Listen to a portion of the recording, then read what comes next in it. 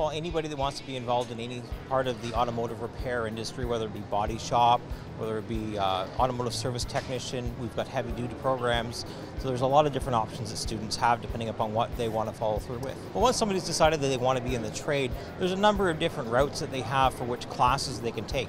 We've got some of our co-op programs, we've got the TADA program, we've got another Chrysler program as well, and these are more of a full, well-rounded program where they're going to take English, they're going to learn some communication skills, they're going to have some knowledge about the whole automotive business.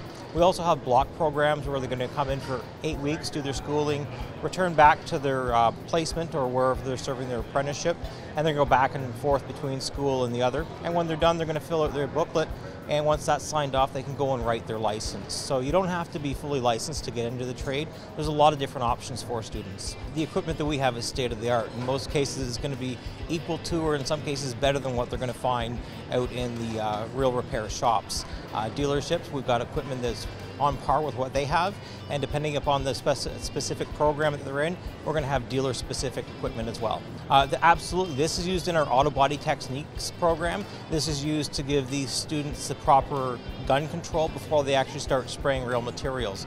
So they're going to use learn gun control, how far away, how fast, and they're going to learn to get an even coat of paint on the panel before they even spray it a little bit.